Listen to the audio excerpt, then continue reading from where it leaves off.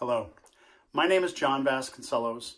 I'm the president of the Community Foundation of Southeastern Massachusetts, which is headquartered in New Bedford, Massachusetts. In 1995, the Community Foundation was founded by a group of local residents who realized we need a nonprofit foundation that would be there for when the times were tough in our region, but also to put monies away so that we always had a stream of income to support local nonprofits and to make scholarships to our young people.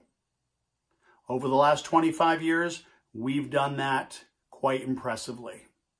Each year, we give away nearly $4 million in grants and scholarships, grants to a wide range of nonprofits, from arts and cultural initiatives such as last year's Fabric Festival and the Day of Portugal in Fall River, as well as grants to nonprofits such as the Immigrant Assistance Center that are helping the newest Americans fit into this wonderful country.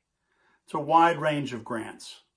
We also make numerous scholarships to a wide range of our young folks who are going on to improve their lives, and we hope that they'll come back to the South Coast to continue to elevate our community with their contributions.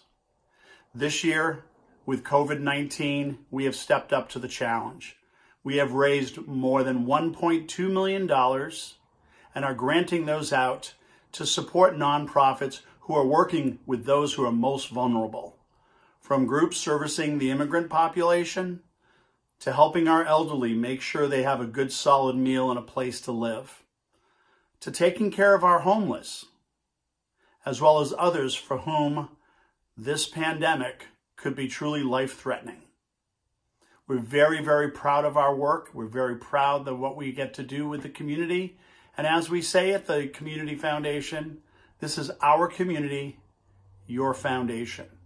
It's a job and responsibility we take very seriously. Thanks for listening.